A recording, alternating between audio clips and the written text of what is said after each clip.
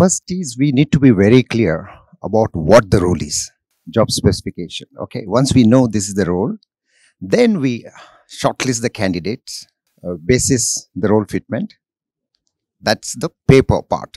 Okay, then you will have to engage with them, talk to them to understand their background, the suitability for the role. That is from the HR perspective, from culture and fitment angle.